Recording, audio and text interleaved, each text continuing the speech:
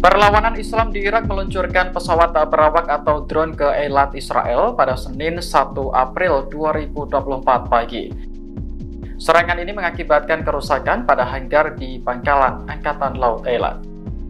The Times of Israel menerbitkan sebuah foto yang memperlihatkan hanggar hancur seusai dihantam drone. Kedati demikian, militer Israel memastikan tidak ada korban jiwa maupun luka. Saat ini pihaknya masih melakukan penyelidikan atas insiden tersebut, termasuk kemungkinan gagalnya Iron Dome dalam mencegat senjata dari musuh. Sementara itu, perlawanan Islam di Irak telah mengakui bahwa pihaknya menyerang sasaran penting di Israel dengan senjata yang tepat.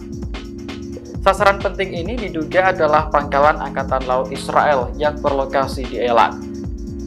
Sejak perang di Gaza meletus, wilayah ini telah berulang kali mendapat serangan dari musuh.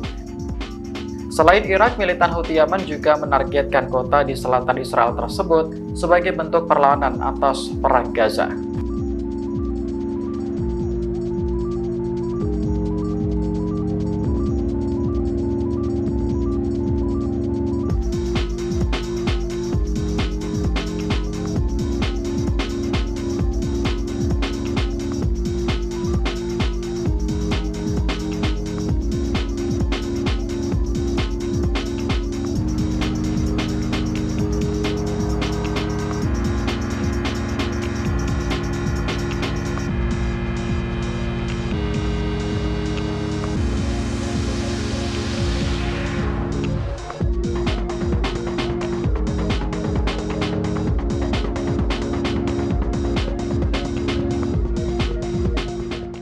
Download Tribun X sekarang.